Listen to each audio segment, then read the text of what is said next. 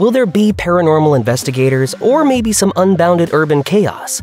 Or will it stay completely true to the spirit of the games? Here's everything you need to know before you watch the Five Nights at Freddy's movie. Five Nights at Freddy's is a popular horror video game franchise originally created by indie developer Scott Cawthon. The first edition was released in 2014, and its massive success led to multiple sequels, spin-offs, and fan mods. There's also been a series of books that expands on the franchise's deep lore. And after over a decade stuck in development hell, Blumhouse Productions will be releasing a big-budget feature film adaptation of FNAF in October 2023. The initial release was a first-person point-and-click horror game in which players take on the role of a security guard stuck in the rundown Chuck E. Cheese-inspired Freddy Fazbear's Pizza. During the first few nights, the player is given instructions by an unnamed predecessor who recounts the dangers of the gig, the creepy killer animatronics that stalk the restaurant at night. The player's only course of action is to close the doors when they're near, but they can't keep the doors shut indefinitely because otherwise they lose power and become defenseless. The sequels expand on this simple premise with different time periods, hidden minigames, and a Shakespearean familial drama that drives the whole plot. At this point, Five Nights at Freddy's might be one of the most recognizable horror franchises in the world. Most of its success can be attributed to the killer designs of the game's animatronic antagonists, but Scott Cawthon's greatest triumph probably would have never happened without his biggest failure. As it turns out, those frightening designs can be traced back to a very different, rather cutesy game. That free-to-play mobile game designed by Cawthon was called Chipper & Sons Lumber Co. It was meant to be fun and kid-friendly, but the character designs ended up being a little too scary when they were supposed to be endearing. Beforehand, Cawthon had been making wholesome Christian games, but the reception to Chipper & Sons Lumber Co. seemed to be what convinced him to pivot to horror. Five Nights at Freddy's was a hit pretty much right out the gate when the first game was released back in 2014. Plus, its lack of gore and campy comedic touches allowed it to be safe enough for younger audiences. So, Hollywood naturally saw dollar signs flashing, and attempts to make a film adaptation began in earnest back in 2015, just a year after the first game's release. Gil Kenan, who helmed the 2015 Poltergeist remake, was the first director attached, with Seth Grahame-Smith listed as a producer. Eventually, though, they both left the project due to constant delays on Scott Cawthon's part. Then Blumhouse Productions bought the rights to the game and hired Chris Columbus to write and direct as he was apparently a big fan of the game. However, he too eventually left the project after many rewrites and do-overs of the film's script. Finally, Emma Tammi landed the director gig off the strength of her feature debut 2018's The Wind. A film adaptation of Five Nights at Freddy's will likely live or die by the quality of its monstrous animatronics they must stay true to the spirit of the games while also being believable as cute and cuddly mascots. And most important, they must be legitimately scary. That's no easy task. Luckily, the famous Jim Henson Creature Shop will be responsible for creating Freddy Fazbear and his friends in the movie. The Jim Henson Company should need no introduction, as they're the geniuses behind such classic media properties as The Muppets, Sesame Street, Labyrinth, and the 90s Teenage Mutant Ninja Turtles, so kudos to Blumhouse for not going the CGI route and hopefully the rest of the film will be just as good as the character designs. Despite its humble beginnings, the Five Nights at Freddy's series actually features a surprisingly epic and dense lore that spans many decades. For instance, there's ample evidence that the first game is set in the mid-90s. This includes the date on a check of Friday, November 12th, that narrows it down to 1993, as that was the only time that that day, month, and date all coincided during the game's timeline. And the minimum wage on the check of $4 per hour fits that era as well. This could potentially indicate that the film will be a period piece. Five Nights at Freddy's 2 is explicitly set in 1987. In the first teaser for the film, there's a screaming security guard who's presumably FNAF 2 protagonist Jeremy Fitzgerald. This potentially depicts the infamous Bite of 87 that's constantly mentioned throughout the series. Both trailers feature Matthew Lillard as Steve Raglan, a character whom many fans are theorizing may be the series' antagonist William Afton and Afton's post-mortem form, Springtrap. If this is true, we could see Afton as a human in the flashbacks and Springtrap throughout the rest of the film. This would also mean that the film is merging game continuity, since Springtrap doesn't become a true antagonist until the third game. In the first Five Nights at Freddy's game, the security guard that the player controls is named Mike Schmidt, who will be played in the film by Josh Hutcherson. At the end of the first game, it's mentioned that Schmidt was fired for messing with the killer animatronics, and that's supposedly the last we ever hear of him. However, there's a popular fan theory that posits that Mike Schmidt and Michael Afton are actually the same person. In the games, Michael Afton is the son of deranged antagonist William Afton, aka Springtrap, and the protagonist of Five Nights at Freddy's sister location, in which he makes his first official appearance. The evidence for this theory mostly stems from ancillary material. For instance, the activity book Survival Logbook, which is made to look like an instruction manual for Freddy Fazbear Pizza security guards, is said to have been owned by Mike with no last name provided. In the games, only Mike Schmidt is known to work at the restaurant, but the Survival Logbook also mentions events from the sister location game that only Michael Afton would know about. It seems possible that the movie will confirm or debunk this theory. Hi, this is Mike. Death and tragedy befalling innocent children is a common plot point in many popular horror franchises, and Five Nights at Freddy's certainly carries on that tradition. One such juvenile victim that gets particular attention in FNAF has been dubbed the Crying Child. He's the main character that you control in Five Nights at Freddy's 4, as his backstory is revealed through a series of minigames. According to lore, the crying child was bullied by his older brother at Freddy Fazbear's Pizza, and he was then bitten by an erratic Fazbear animatronic before dying. In a since-deleted Instagram post, the actor playing young Mike in the movie, Wyatt Parker, wrote, Nice to see my little brother again, over a picture of himself with fellow actor Lucas Grant. Many fans have theorized that the crying child is Michael Afton's little brother, and if Michael Schmidt and Michael Afton are indeed the same person, that means that Mike accidentally killing his brother could also be the tragic event that's the source of his guilt. Like a lot of horror game franchises, the various Five Nights at Freddy sequels usually follow different protagonists in each subsequent entry. So after Mike Schmidt in the original game, there's the ill-fated security guard Jeremy Fitzgerald in Five Nights at Freddy's 2, and then the crying child in Five Nights at Freddy's 4. In 2019, Five Nights at Freddy's Help Wanted was released, and it was eventually revealed that the game's protagonist was the female security guard Vanessa. She then becomes the antagonist in 2021's Five Nights at Freddy's Security Breach, having been corrupted by yet another incarnation of the evil William Afton. It's rumored that the police officer character of Vanessa in the movie is the same Vanessa from the games. If that's true, it remains to be seen if the movie Vanessa will share the same fate as her video game counterpart, or if the filmmakers will do something different with her since she's already changed from a security guard to a police officer. The police searched Freddy's top to bottom. It's no secret that there have been a lot of terrible video game adaptations over the decades. From the live-action version of Super Mario Bros. to whatever the heck House of the Dead was supposed to be, video game movies have often been rightly maligned on plenty of occasions. A few years ago, Scott Cawthon spoke candidly on Reddit about the lengthy production process and constant delays plaguing the highly anticipated Five Nights at Freddy's movie adaptation.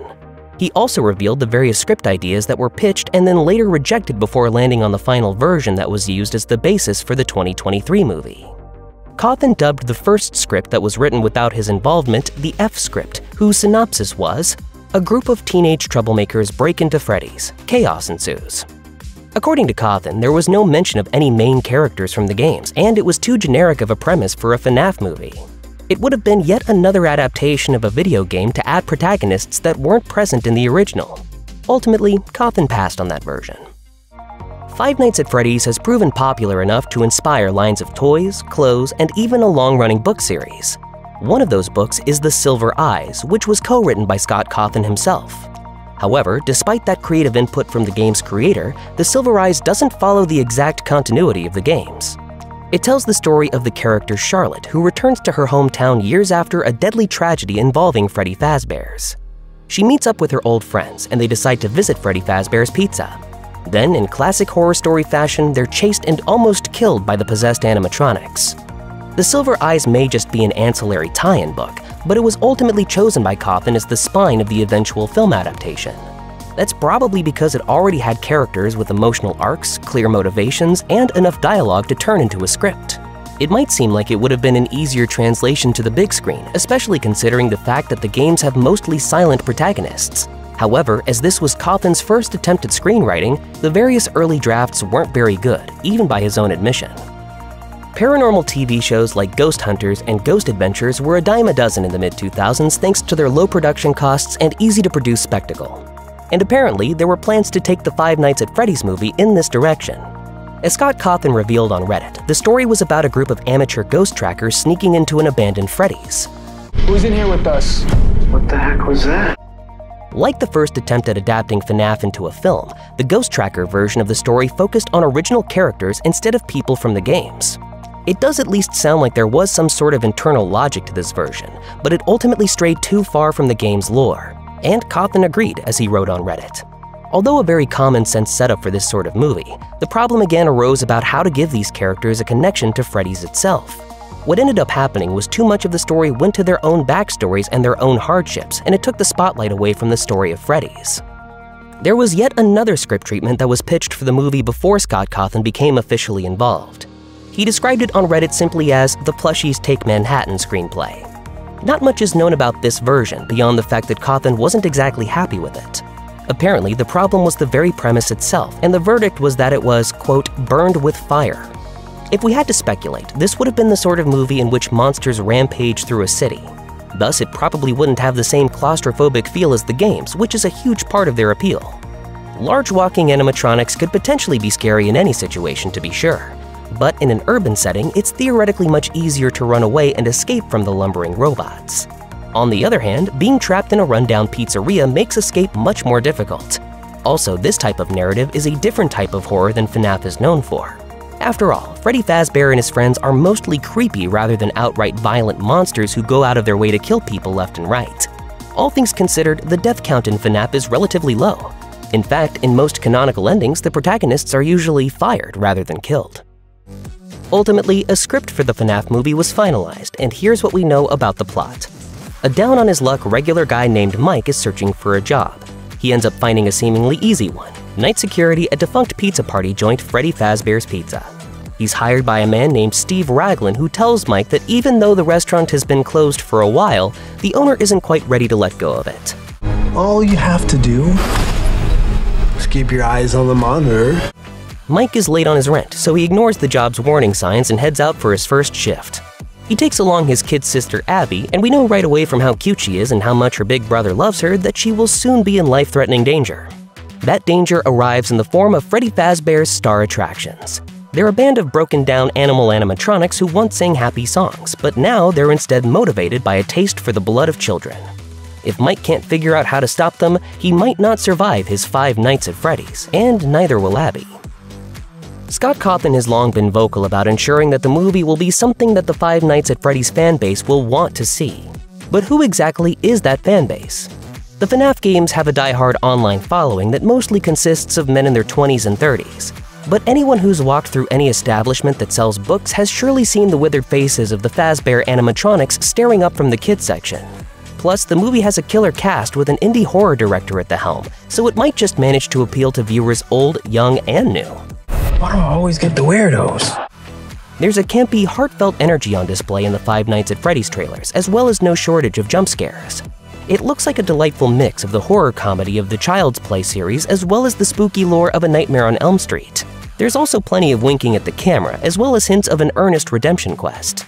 Five Nights at Freddy's could also attract the family-friendly horror audience of something like Stranger Things. Or conversely, its attempts to appeal to a larger group of horror fans beyond the gaming fanbase could lead to unmitigated disaster.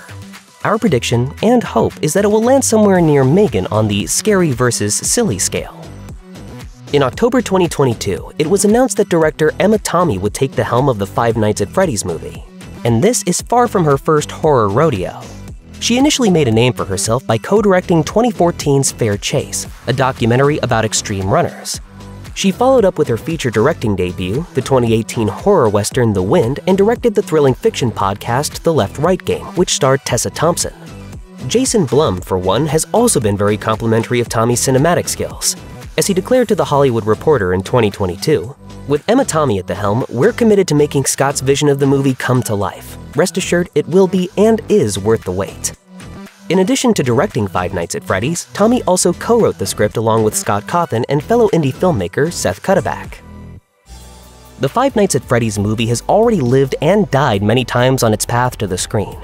Almost a decade will have passed since its initial announcement in 2015 and the actual release in 2023. The film has changed creative hands multiple times throughout that process. One of the directors who almost ended up getting the gig was Chris Columbus, but he didn't stick around. That loss might seem a little surprising, as the director behind Home Alone and the first two Harry Potter movies would seemingly have been a good fit for a PG 13 animatronic scarefest.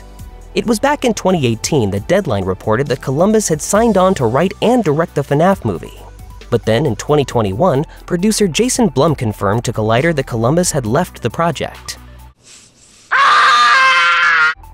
Columbus hasn't said anything publicly about what went down, though Blum did tell Collider, I don't have the right to do anything Scott doesn't like. Basically, Scott has kind of like the equivalent of Final Cut, and it's taken longer than I hoped to get the right story. As detailed by Scott Cawthon's extensive list of gripes on Reddit in 2020, there have been plenty of scripts that he wasn't happy with over the course of production. Ultimately, he did like one script enough to co-write it himself. That would of course be the one for the Five Nights at Freddy's movie that's actually being released in October 2023. So while Chris Columbus is no longer working on the FNAF flick, there's no need to fret about the status of his career. Looking ahead, he's one of the producers on Robert Eggers' upcoming Nosferatu, and he's also reportedly written a script for Gremlins 3. The Five Nights at Freddy's movie trailer features Matthew Lillard chewing the scenery as sniveling career counselor Steve Raglan. Steve may also be the not-so-secret serial killer William Afton, and he seemingly knows the sinister truth behind the demise of Freddy Fazbear's. It's obvious even from the preview that Lillard is making a real meal out of this role. This is a fine casting choice, as Lillard is no stranger to dangerous characters. His most iconic horror performance is surely Stu Macher in the original Scream, and then he showed up in 2001's 13 Ghosts, a remake of the 1960 horror film of the same name. He can also hold it down in a cartoony franchise, as evidenced by his work as Shaggy in the Scooby-Doo movies, so clearly he's more than ready to spend every night that he needs to be able to survive Freddy's. With that in mind, Lillard casually dropped that he signed a three-picture deal for Five Nights at Freddy's during a January 2023 appearance on the podcast Weekly MTG. Time will tell if this ends up being just as legendary as some of his earlier roles, but our hopes are certainly high. These days, you gotta have a sequel. Five Nights at Freddy's won't be the first time that Josh Hutcherson is playing someone who works long hours somewhere sketchy. From 2017 to 2020, he played the main character of Josh on the Hulu comedy series Future Man. Josh is a janitor who beats an unbeatable video game and is then joined by the game's characters in a quest to truly change the future. Hutcherson is also, of course, well known for his time as Peeta Mellark in the Hunger Games franchise. Hutcherson's capacity for conveying heartache, comedy, and duplicity makes his casting as Mike Schmidt in FNAF particularly exciting. Even in the trailers, it's clear that he'll make viewers feel sympathetic to his plight. Hutcherson is also quite capable of playing to villainous and surprising strengths, like when he's charming the blue hair off of Stanley Tucci's Caesar Flickerman in The Hunger Games, or when he's making Katniss Everdeen question whether his love for her is real or all just a show for his own survival. He's sure to bring similar nail-biting acting abilities to Five Nights at Freddy's. The Five Nights at Freddy's movie also stars Elizabeth Lail as Vanessa, the seemingly sympathetic cop who introduces herself to Mike Schmidt on one rainy night. She, of course, spills the tea about the killer animatronics and their spine-tingling backstory. Viewers may recognize Lail from her roles as Anna on Once Upon a Time and as Mac in the 2022 movie Mac and Rita. She also played Guinevere Beck, the first object of Joe's obsession on the thriller series You. This might be a cynical take, but we're not exactly inclined to blindly trust the one person in town who seems to know everything about the ghost children operating the animatronics from beyond their graves. Even newcomers to Five Nights at Freddy's might smell a rat with all of Vanessa's seemingly helpful hints. So is she Mike's friend or foe? Regardless of what we know from the games, the movie could go potentially in any diabolical direction, so we'll just have to wait and see. A big part of the success of Five Nights at Freddy's can be attributed to the spirited playthrough videos posted by the gaming community on YouTube and Twitch. So it only makes sense then that the FNAF movie looked to this very community for some stunt casting. YouTube stars 8-Bit Ryan, Baz, Dawko, Fusion Z Gamer, and Corey Kenshin pop up in the movie's trailer, and there might be even more in the whole thing. If you're a YouTuber yourself, these handles may very well have you amped out of your mind. But if on the other hand these names mean nothing to you, worry not. You can be excited instead about Matthew Lillard's presence, and explain who he is to the nearest youngster. How do you do, fellow kids? In 2021, Scott Cawthon stepped away from the Five Nights at Freddy's gaming franchise. This was seemingly due to controversy surrounding the public disclosure of his campaign donations to Republican politicians, including Donald Trump and Senator Mitch McConnell. This upset members of the LGBTQIA community, and Cawthon responded to the controversy by saying on Reddit, I'd like to think that the last seven years would have given me the benefit of the doubt in regards to how I try to treat people, but there I was, trending on Twitter for being a homophobe. If I get cancelled, then I get cancelled. If people think I'm doing more harm than good now, then maybe it's better that I get cancelled and retire. But Cawthon hasn't retired completely as he released a new game in 2021 and he co-wrote the FNAF movie. Five Nights at Freddy's is inspired by the look and feel of a true-life terror, Charles Entertainment Cheese, aka Chuck E. Cheese. That place of business is ostensibly where a kid can be a kid. But it's also where kids can be scared of the giant creatures singing at them while they eat pizza and cake and play some skee ball. The Family Entertainment Center delighted and haunted countless children celebrating their birthdays in the 70s, 80s, and 90s. It still exists today, but in a much more stripped down version. Unlike Freddy Fazbear's, Chuck E. Cheese never experienced any killer Bite of 83 scenario, even if the fan base has tried to link some truly tragic events that happened at Chuck E. Cheese's into the lore of FNAF. In real life, Chuck E. Cheese did start phasing out its own animatronic band in 2017, just two years after the FNAF movie was first announced. Even if that decision wasn't officially related to Freddy's, the timing is still spooky enough to make you think twice about ever stepping into a Chuck E. Cheese ever again.